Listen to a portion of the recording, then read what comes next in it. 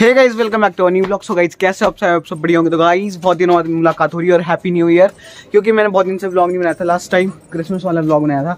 तो आज कुछ स्पेशल होने वाला है, क्योंकि अभी हो रही है शाम, और हम जा रहे हैं बजाना।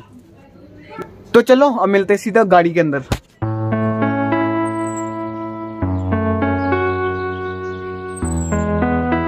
गाइस फाइनली हम पहुँच चुके हैं।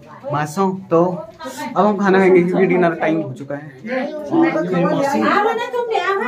ठंड लग रही है नानी? बहुत ठंड लग रही है यार। आपको ठंड नहीं लग रही? मुझे लग अच्छा आप तो यहीं के आपको ज़्यादा एक्सपीरियंस हो गया होगा। गाइस तो ये मेरे मामा। ठंड लग रही है? कैसा हो रहा है नानी खाना? है? गाँव के खाने में कुछ अलग ही स्वाद होता है ना।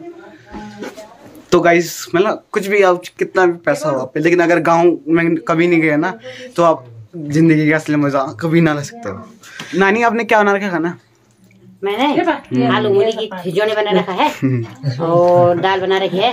अब जिसको पसंद नहीं आएगा तो थोड़ा थोड़ा घी देंगे। है? हाँ। गाइस मेरी नानी और मेरी मामी मामी को तो आपने बहुत बार देख दिया होगा लेकिन नानी को नहीं देखा होगा। हाँ हाँ तो बनाओ तो नानी रोटी बना रही है देखो। हाँ।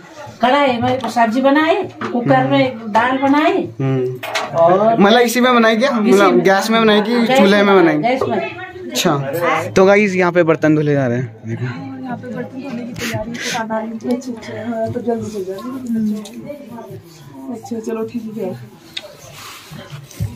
गाइस फाइनली हमने खाना खा लिया है और अभी हम ताप रहे हैं और सुनाओ कुछ।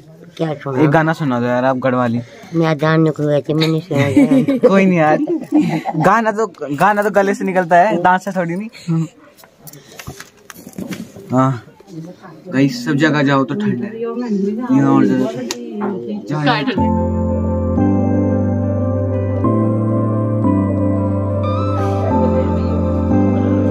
संस्कार संस्कार है इन लोगों के।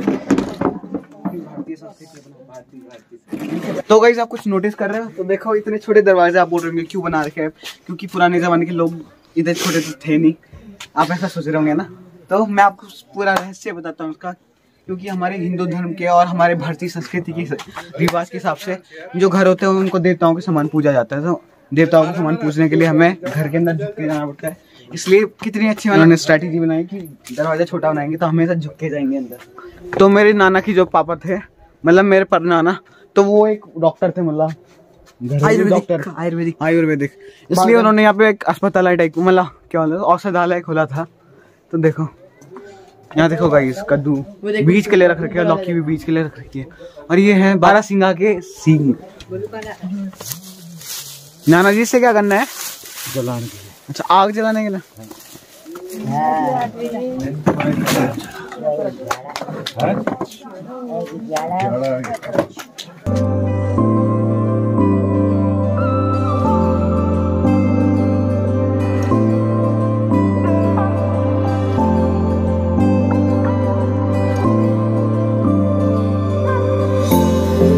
फाइनली गाइस अब हो चुका है सोने का टाइम बहुत आग ताप ली।